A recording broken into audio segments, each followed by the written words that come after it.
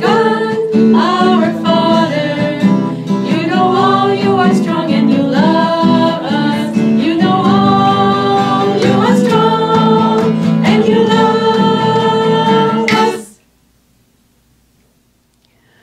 God, you are my Father. Yes, you know all, you are strong, and you love me.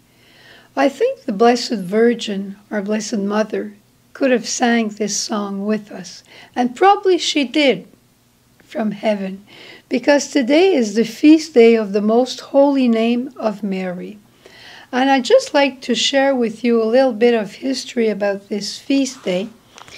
It, uh, it was established by the Pope Innocent XI in 1683, and it was uh, to recall a victory that the Christian had over the Turks, and it was under the protection of the Blessed Mother.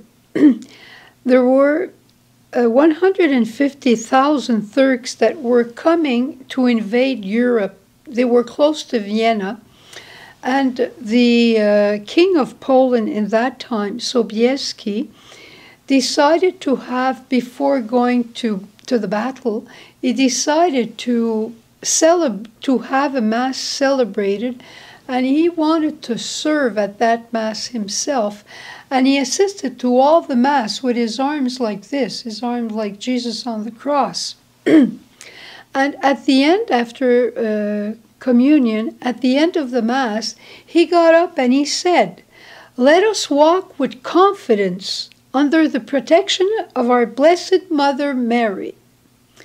And what happened exactly, I don't know, but I know that the Turks were sort of destabilized and they were they they were they had panic in their group and they just left. They just left. They were sort of scared and they went out.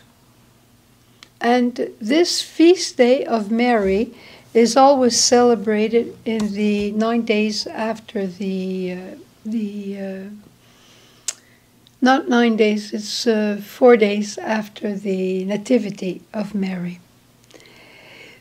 You know that the name of Mary means queen.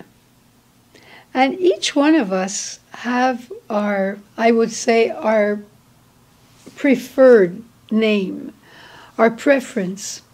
Every every city, nearly every city or every country has is under the protection of the Blessed Virgin. But many many often, very often we see the people of Lourdes saying our our uh, our mother of Lourdes, uh, our Our Lady of Fatima.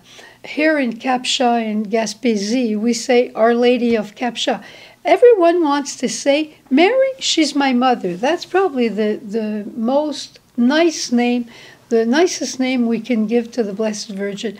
And I'll tell you a way to say your rosary when you're very, very tired or you can't concentrate.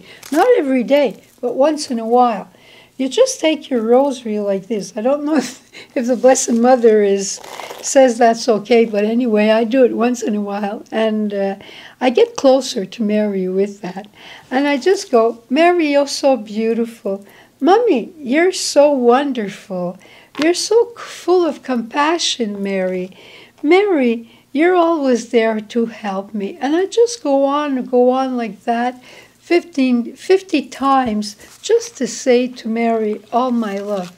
And the rosary is that to say our, our need of our Blessed Mother.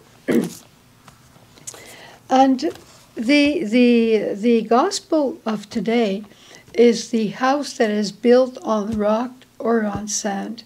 And this gospel always comes back to me saying, And your life, Suzanne, what do you have you been building your life on the rock of the providence, let's say, or are you building your life on what you know, what you're able to do, or what you, you love to do?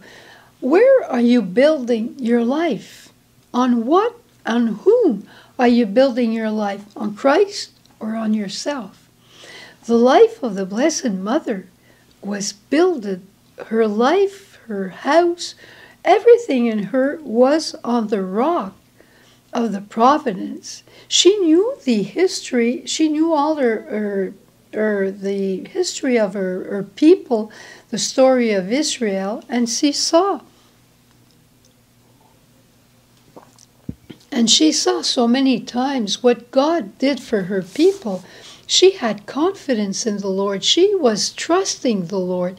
So when the Lord came to visit her by the uh, by the angel Gabriel, she she knew God and she was able to dialogue with him. She was able to give him an answer, and it's an answer that changed the course of the history and the course of her life.